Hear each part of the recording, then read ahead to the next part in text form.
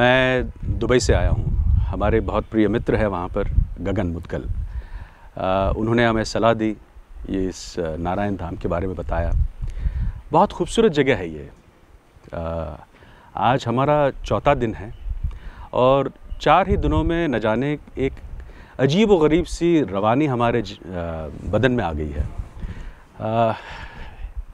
Mainly मेरा complain था कि डायबिटीज़। डायबिटीज़ हाई या लो की बात नहीं है बेसिकली इरेगुलरिटी है।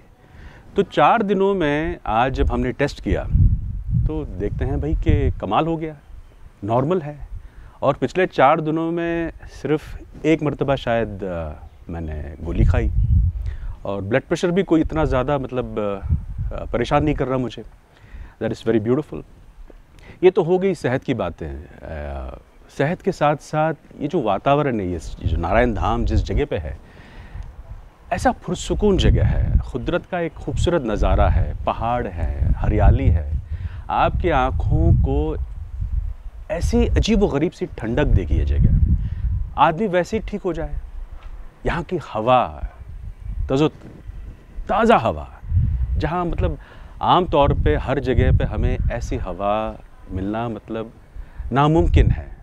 इंसान ऐसे इस हवा से ही ठीक हो जाए, नज़ारे से ठीक हो जाए। और यहाँ के लोग लोग हालाँकि एक कमर्शियल इंस्टीट्यूशन है, एक स्पिरिचुअल इंस्टीट्यूशन है, या आउट राय से कि ये ज़्यादातर एक स्पिरिचुअल इंस्टीट्यूशन है। एक होलिस्टिक तरीके से आपसे व्यवहार किया जाता है, हमसे ऐसे हुआ है। हर कोई बंदा मतलब सिर्फ़ डॉक्टर की बात नहीं आपके थेरेपिस्ट आपके मतलब शेफ़ हो हर कोई बंदा यहाँ पर।